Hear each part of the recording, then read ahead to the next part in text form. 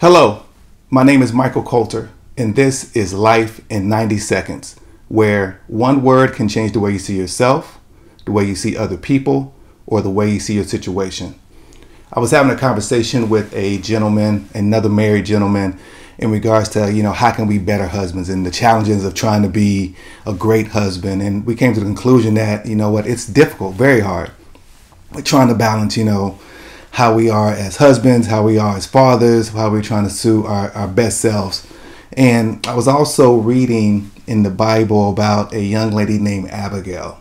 Now, the Bible said now she was she was beautiful and very intelligent. I'm thinking like as a husband, who wouldn't want that? And she was married.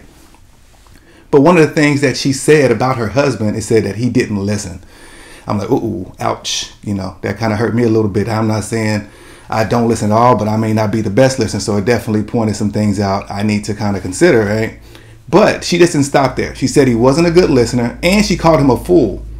Now, in this case, when I'm looking at a, a at a fool, I'm like, okay, either you know what, you just do crazy stuff, or you make you don't make the best decisions. And it's obvious, right? Obvious least to your spouse to say, you know what, you're not making the best decisions. She ended up leaving him. The story's very interesting. I'm leaving for King David, this, that, and the other not the point of it, but the idea is really to show that, you know what, sometimes, you know what, us as husbands, we don't listen. But we have to stop short of being stop being fools, right? Of not of having bad decisions being made in, in situations and really relying on on good feedback and, and wisdom. And just the idea of trying to challenge ourselves as husbands to to be different, to be better, to really understand ourselves a little differently, and hopefully be the best husbands that we can be. Ultimately, you know what? We want that validation from our from our wives, right? To say that, hey, baby, you good, you got this. I believe in you. I believe in your choices. Um, but we can prevent some of the things that actually are taking place.